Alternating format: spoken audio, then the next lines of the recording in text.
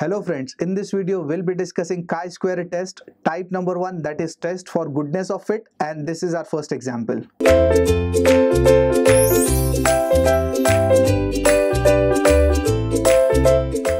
Friends, in the last video we have discussed what exactly is chi-square test and there are two types test for goodness of fit and test for independence of attributes. I am sure you are confused with these two types. What exactly these two type means? So don't worry let's start with the problem and we'll try to understand what exactly mean by this. This is the given problem. The following table gives number of breakdowns in a factory on various days of a week.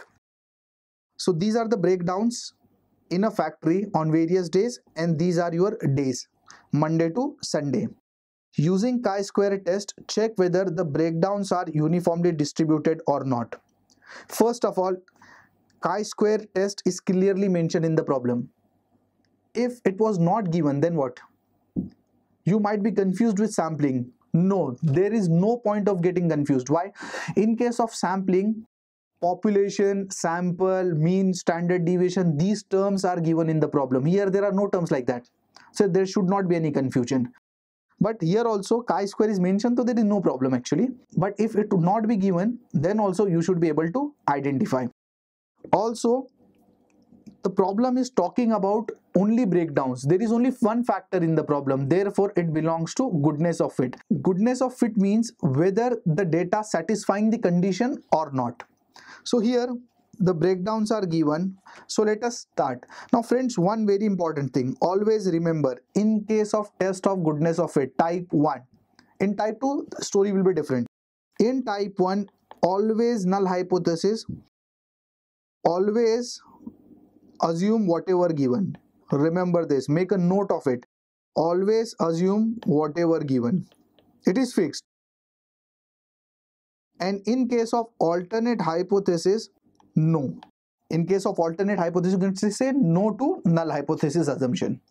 It is fixed and this is for this particular type only, test for goodness of fit. Let's start with the problem. What is asked? Check whether the breakdowns are uniformly distributed or not. Null hypothesis, step number one. Yes, please. Assume whatever is given. Whether the breakdowns are uniformly distributed? breakdowns are uniformly distributed. Whatever is the given problem, just say yes to it. So breakdowns are uniformly distributed. So this is first part. Next, we do have alternate hypothesis. Step number two. Whatever is the null hypothesis, we're going to take opposite of that. So breakdowns are not uniformly distributed. I hope two steps are clear.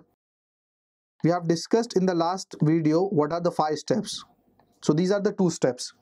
Step number three is your LOS part. LOS stands for level of significance. Here in this problem, LOS is not mentioned. Since it is not given, we can assume it to be 5%. It's your wish. Let me assume it to be 5%. One more thing required is degree of freedom. Remember, in this type, degree of freedom is n minus 1. In type 2, that is test for independence of attributes, the formula for degree of freedom will change. Here the formula is n minus 1. n indicates your data, how many datas, how many values you have. So here we do have 7 values. See here. Monday, Tuesday, Wednesday, Thursday, Friday, Saturday, Sunday. 7 datas are given. Therefore, n minus 1 means 7 minus 1. So we're going to go to chi-square table. We're going to check for 6 degree of freedom 5% LOS. So this is the way we're going to check the value and if you check in the table you will get the value of chi-square alpha as 12.592. So this is the chi-square alpha that we got from the table. Done with the three steps, let's move on with the next step. Step number four is our calculation part. So calculation, we need to apply the formula so let me write it down. Whatever is the given is your O. Whatever given is O. So observed we have, this is the data for observed. 14, 22, 16, 18, 12, 19 and 11. 14, 22, 16, 18, 12, 19 and 11. now friends we need to find it out expected frequency what is expected frequency? What is our expectation? First of all tell me that.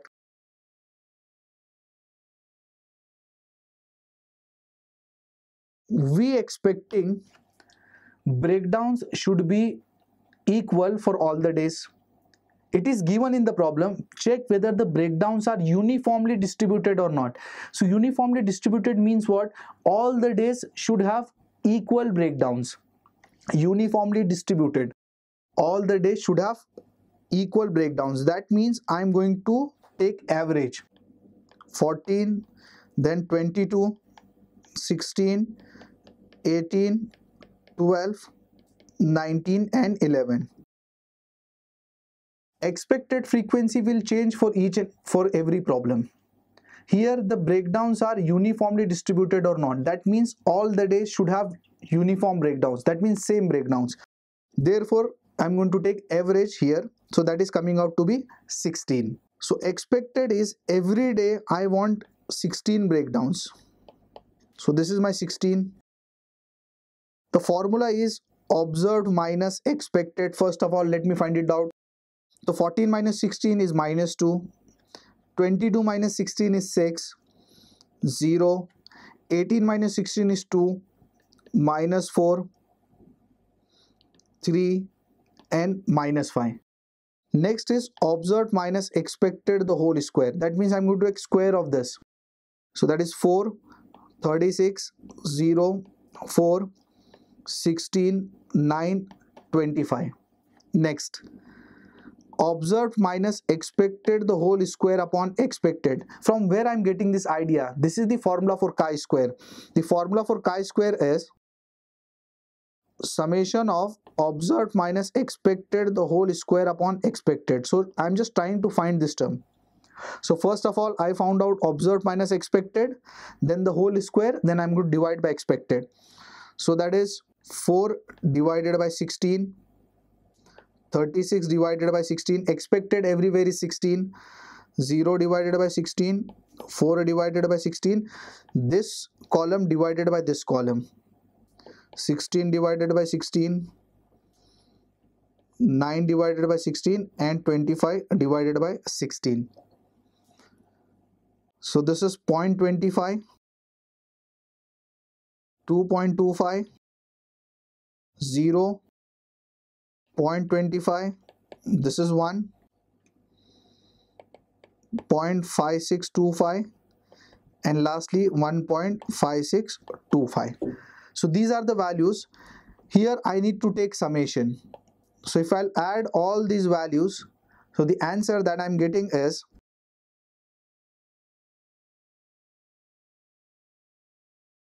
Five point eight seven five. So the answer of chi-square that I got is five point eight seven five. So this is the addition of that last column. So this is the value of chi-square. Now friends, it's very simple see just add this particular column and you'll get your result of chi-square because the formula is this. See the formula.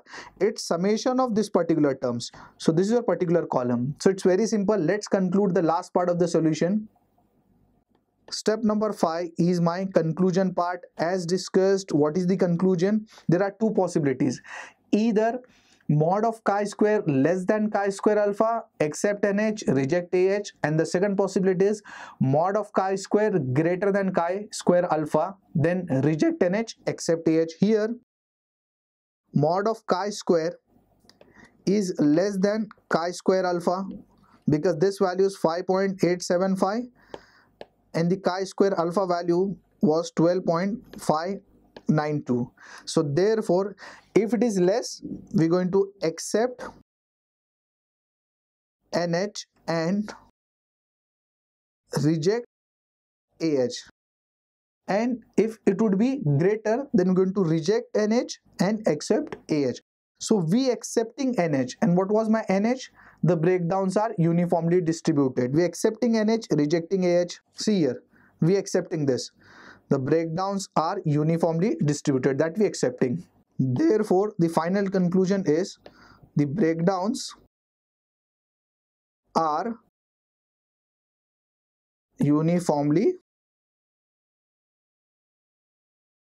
distributed. So we're done with the problem. Only remember the formula of expected will change. Here the formula was asked. It is asked whether the breakdowns are uniformly distributed or not. So therefore we calculated average. In the next videos we'll see what is the change. Thank you